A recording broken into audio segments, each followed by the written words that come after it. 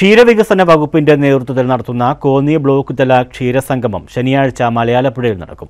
ഇതിനു മുന്നോടിയായി കന്നുകാലികളുടെ പ്രദർശനം നടന്നു. സംസ്ഥാന ക്ഷീരവികസന വകുപ്പിന്റെ നേതൃത്വത്തിൽ കോന്നി ബ്ലോക്ക് തല ക്ഷീരസംഗമത്തിന് മുന്നോടിയായാണ് ആലപ്പുഴയിൽ കന്നുകാലികളുടെയും കിടാരികളുടെയും പ്രദർശനം നടത്തിയത്. വിവിധ ഇനത്തിലുള്ള കറവ പശുക്കളെയും അവയുടെ കന്നുകുട്ടികളെയും പ്രദർശനത്തിന് എത്തിച്ചിരുന്നു.